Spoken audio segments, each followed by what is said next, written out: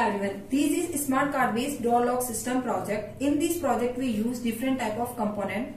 For the power supply initially we use a transformer which has two winding. Primary winding is connected with the main supply and secondary winding is connected with this bridge rectifier. These convert AC to DC supply. This 12 volt DC supply is converted into 5 volt DC supply by using this IC LM7805.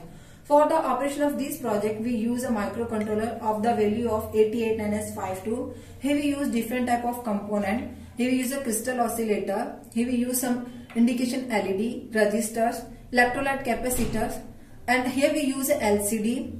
For the operation of this project, we use a RFID module and some RFID cards. Initially in this project, the door will closed. Whenever any person come across and shows their card on this module like this. The message is shows in LCD please go and door will open like this. After that the person go the door will automatically closed showing the another card on this module. A message is shows on this on this LCD please go the door is open.